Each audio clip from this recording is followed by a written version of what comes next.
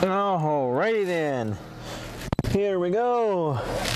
First day in a long time. I hadn't even really thought about what I'm gonna talk about. It's cold if you can't tell. I got my beanie on, I got my double jackets on. I actually um, was not going I don't normally wear two jackets, but what happened was I had forgotten one of them on my way home from work. I feel like my mic's in a terrible place. I had forgotten one of them on my way home from work, and so in order to not freeze my butt off, this morning when I came to work, I wore a different jacket. And then, of course, I needed to remember to bring my normal jacket home. So, voila, I've got two jackets. I was hoping that it was going to be a little chillier when I leave. Obviously, like whether or not the sun's down is a huge factor as to whether or not um, it's too chilly or chilly enough for me. So, at any rate, um, that is why I'm wearing two jackets. I'm not that sensitive to the cold weather, although I am more sensitive to the cold weather than I used to be.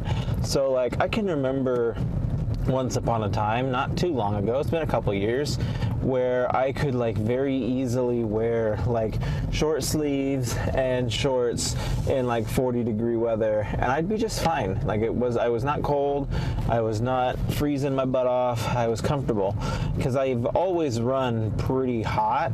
Like I get hot very easily and I stay stay hot for a very long period of time and so I prefer to be cold over being hot for that very reason. And so, at any rate, um, I can remember being 40 degrees, shorts and a t-shirt, I am just fine. And then uh, in 2019, I got sick and like not like a major like sick, but I just I, for whatever reason I remember being sick in 2019 in early goings of the year, and I could not get warm. Like I was cold all the time. And like the sickness went away, but my sensitivity to cold was never quite as strong as it once was. Like even still to this day, it's been four years now since that happened, and still, like, cold hits me a lot harder than it used to. And a lot of people say that that just comes with age, and when you're old and decrepit, you feel the cold worse than you do the heat. And I'm sure that there's some truth to that, but I don't think I'm old and decrepit enough to be like, oh, the cold makes my bones rattle. But um, at any rate, I get cold and feel cold a lot more sensitively than I used to. And so that um, is a thing. Like I probably wouldn't even be wearing a jacket in it's what 37 degrees outside. I might be wearing a jacket today, but not normally would I be wearing a jacket or once upon a time I wouldn't be wearing a jacket and now I am because the dagum sickness done took my immunity to cold away. That's how one of my gamer friends described it to me. He's like, You lost your immunity to the cold. And I was like, I know, and I really needed it too. It was one of my few natural gifts, but that's all right. I'll just put on clothes and be a happy little camper. And so yeah, what happened today? Like, like I said, today is the first day where I'm like leaving the office and not thinking of a fun thing to talk about with you guys and just it's nice sometimes to just kind of go with the flow and see where where your words take you and what it is that you're saying you guys can't really see me that well at all can you there. Is that any better? Not maybe you don't want to see me. Maybe you don't want to see me at all. But yeah got out of work on time today. Got a lot of stuff accomplished. That always feels good to be able to leave the office feeling like you did something. Um, I knocked out, well, not knocked out, I just made several um, significant steps on several projects. And that is like, honestly, been the biggest thing in this new role that I acquired is like the steps to accomplishing things are mm, like massive. And not like the steps themselves aren't massive. There's a massive amount of steps to accomplishing something. And i've been working on this particular project since like september. And it's like been stuck at like substantial completion now for a very long time, but it's just stuck, and like I have to just wait for this or wait for that or wait for this or wait for that. And honestly, that's probably going to be like what drives me insane about this role that I want or that I have is just like the waiting game. Like everything about this role is like every step of every way that I'm trying to do something or go somewhere, I am getting walls thrown up in my way. And it's annoying. It's like, just get out of my way and let me do what I need to do. I'm trying to make things better around here, but I cannot if you're going to keep throwing up these roadblocks. And so that is the biggest. Um, like struggle that I face in this role right now. It's just like the amount of times things get thrown up in my way, and it's just like, oh, this is this is in your way now, and oh, this is in your way now, and oh, this is in your way now. And I had mentioned yesterday that I wanted to take this um, voice acting class, and like if I'm being honest, as much as I love voice acting, I never really considered it to be like a serious career path for me. But like the more I deal with this stuff, the more I'm like, well, maybe that's maybe that's the thing that I need to be doing. And it's kind of obnoxious because I have so many different creative outlets and so many different things that I'm doing, and like I'm just like sitting here practically begging for one of them to go somewhere and to do something. Like, I've been writing for years, and just like, it'd be real nice if that got some recognition. I've been dabbling with, um, voice acting. And like i said maybe after i take this class i'll have a better direction of like where to go what to do how to get heard how to be seen. Because like to the same degree like anybody who has like a microphone and a modern like even a mild personality can be a voice actor. And like i have a person that i've been working with who does a lot of acting. And i apologize if this mic is in terrible positioning or not. I can't really tell but i feel like it's hitting my chin, which tells me that it's not in great positioning. And every time I stop at a stoplight, I should really like try and readjust it, but I keep just talking to you guys instead. But at any rate, um, I have an actor that I've been talking to, and he keeps complaining about how like the people who get these jobs over him are very simply just like people with more following than he has, and like that's kind of the name of the game. Like the whole benefit of picking a particular actor is that you can borrow off of their fan base. If they're an established name who've been in some things, then chances are they have some fans and they have some people who like no matter what they're doing, I'm going to see what this person's playing in. No matter what they're doing, I'm going to read what this person has written. And so to have those kinds of fans dedicated to you is a powerful thing. And it is honestly probably the most powerful thing in this world aside from like money itself. But as like an asset, it's probably even better than money because it's like guaranteed money without having money. Because like if I wanted to I don't know, film a movie that costs 10 grand, I could potentially have 10 grand, or I could have 100,000 followers and go to a music or go to a movie producer and say, hey, I've got 100,000 followers. If you put my name on this film, I guarantee they're gonna support it. And that movie producer's like, ooh, this is money. This is going to sell. I want it. All right, let's go. And so, like, in a way, like, the modern world of like followers as we call them they are like the new most valuable currency in this modern age and the more followers you have the more influence you have the bigger of a footprint you can create on this world and like it's cheesy because there's a lot of people who were big before the internet. And like the rock for example. The rock is like the biggest person. I think he's still the most popular person on social media right now. And i'm trying to move my microphone. Anyway he is the most popular person on social media right now. And um he was a huge, major, popular success before social media really took off. And so a lot of those people, you've got like them to compete with. They've already got a head start on you. And then there's just the other people who have just been on the internet forever. Like Logan Paul's been a thing for a very long time now, and he's like a gajillionaire. And that's just the unfortunate thing about all of this is like all these people are the same age as me. Well, not okay. The Rock's not the same age as me, but like Logan Paul's the same age as me. Mr. Beast is the same age as me, and they are doing just incredible things with their lives, and they are really succeeding. And I am over here floundering, trying to find my way, and it's like I just don't get it. Is there something that I'm missing? Is there some magic thing about social media and how to gain a following and become a thing on social media that I am missing. Like, it just doesn't click for me. And like I feel like as a personality, like as a person, person to person, I connect very well with others. But something about like the social media connection is just not happening. And to a degree, like I feel like I do make kind of crap content. Like I'll go on Instagram and I'll just be like, hey, this is what I'm doing this week. Hope you guys have a good day or whatever.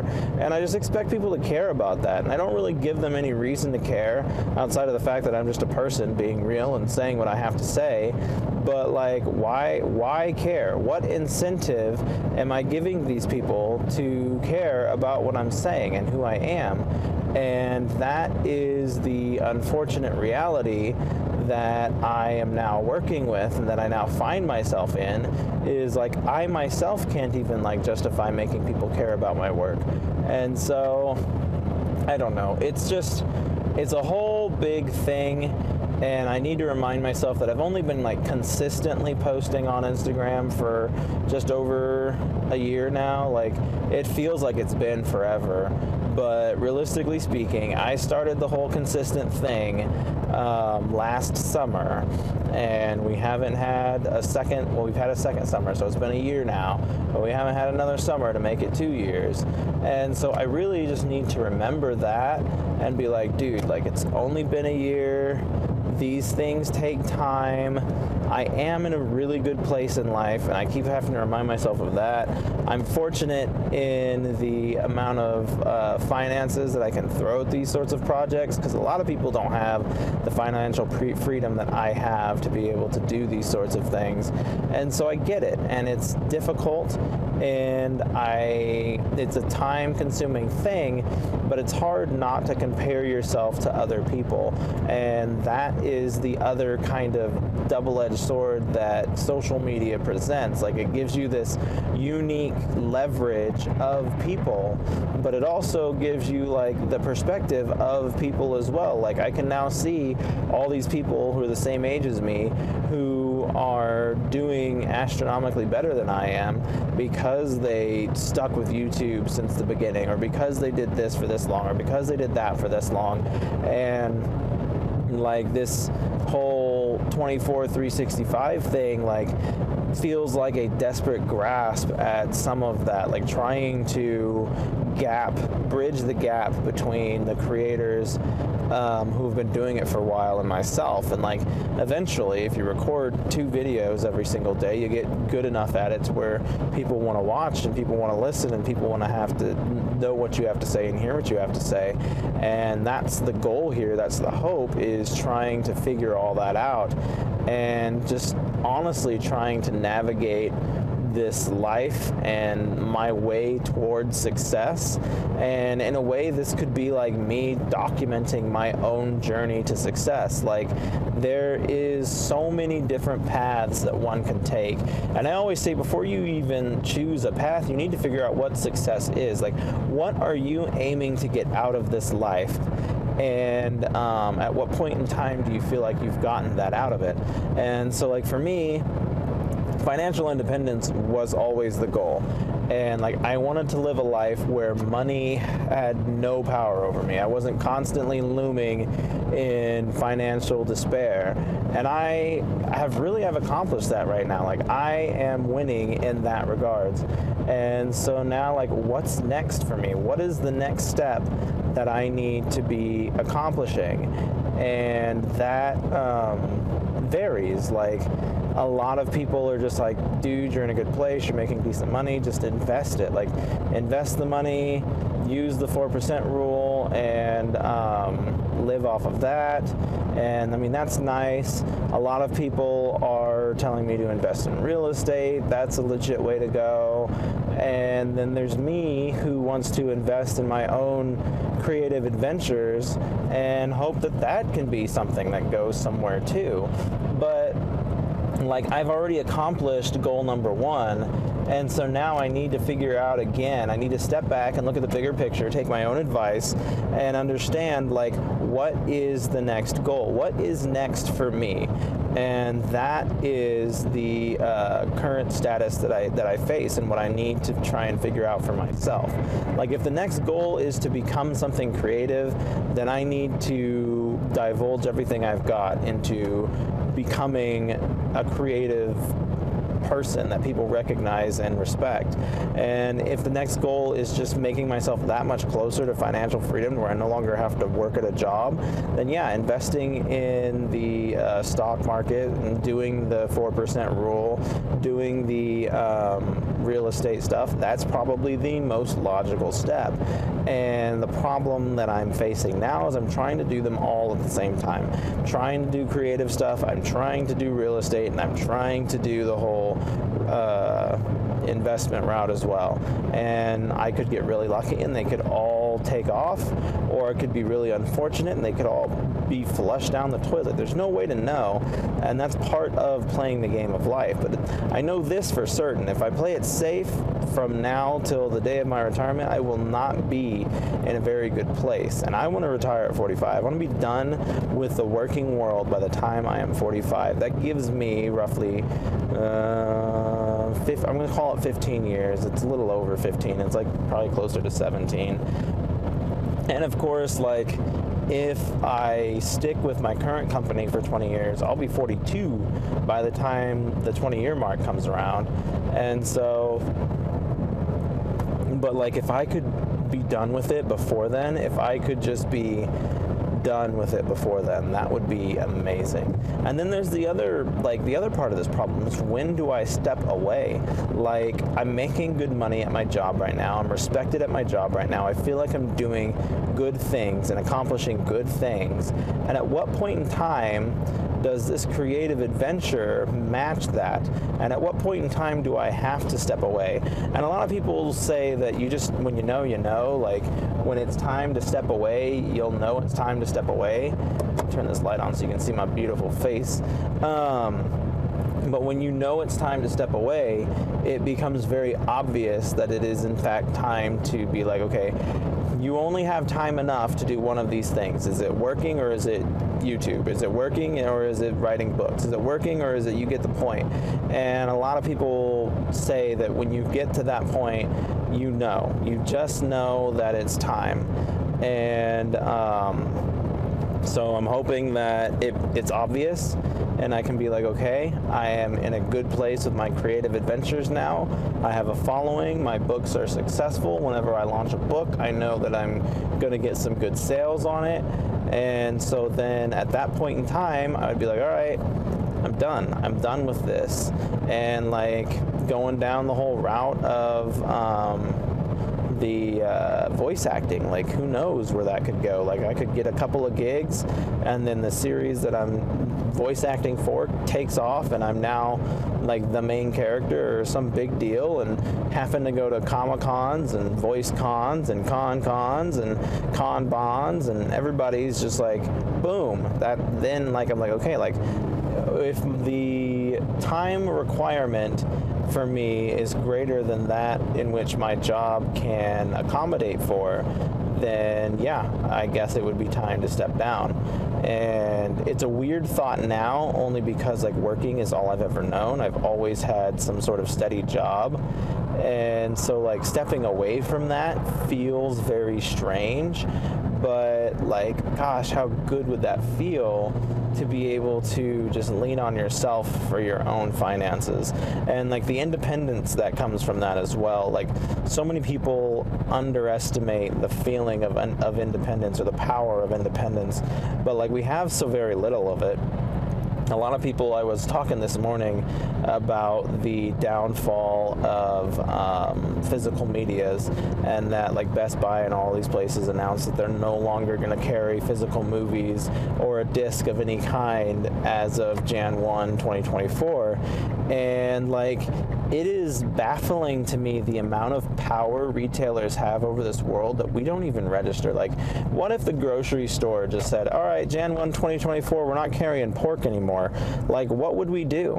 What could we do to counteract grocery stores not carrying pork anymore.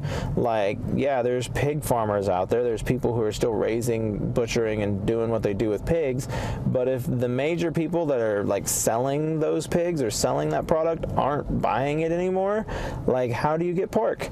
And maybe that's a dumb question. Maybe I'm a city slicker who just doesn't understand how um, butchering and farming works. But I, I, it does scare me to think about the level of authority retail has over our lives, and like movies and stuff that's not that's non non-essential stuff so it's easier for people to kind of shove that under the rug and be like oh it's not important and like i got i got streaming services i got x i got y i can watch it however i want to watch it and like you don't have to worry about storing dvds and movies and physical media is not trendy. Like, or maybe it is trendy, but it's not practical. Um, I myself am someone who collects. I buy as much physical media as I can get my hands on, but I am not like the normal person in that regards. Most people are going to have their streaming services. They're going to watch the movies when they want to watch them, and then they're going to put them away. And like, even like, I don't watch or I don't buy very many movies. I don't watch very movie, very many movies for that very reason. Like, I've the what few movies I do have, I don't often watch them all that much. So it's like because that's a lot of people that are like, I watch it once. Why do I need to watch it again? Or why do I need to own the movie? And like there's always the exceptions to the rules where it's like, okay, this is a great movie. Like, I know I'm going to watch it a bajillion times. But then there's all of the other times where it's just a good enough movie to where you'll watch it a couple of times or whatever. And so I get where people are coming from and that they don't um, they don't want to have all this physical media and it's more convenient and all that but like there's a lot of freedoms you give up when you don't own anything anymore and i think there's a lot of that that people are starting to see more more of nowadays but they still don't recognize it. Certainly not enough to make like a major change and like i said i don't especially in the world of movies and stuff i don't see home video sales ever making a comeback. Like some people are like oh it'll be just like vinyl and it'll come back and the whole world will love it. And like vinyl made a comeback, but I don't know that it is like everybody advertises it like it's such a big deal. And like someone who's like been collecting music for a very long time i was collecting music when vinyl died and i could buy it for 20 cents. And now it's back and they want 35 bucks for it.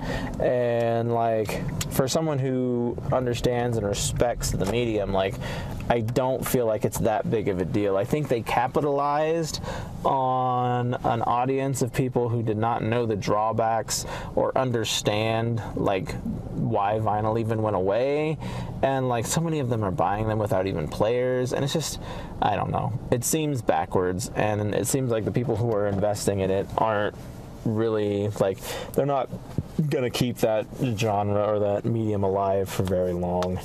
Anyway, I have officially pulled into my driveway. I have exactly 90,700 miles on my car. Would you look at that?